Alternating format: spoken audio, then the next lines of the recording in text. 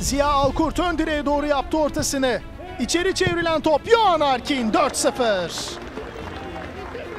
Kendisinin ikinci takımının dördüncü golünü kaydediyor Johan Arkin.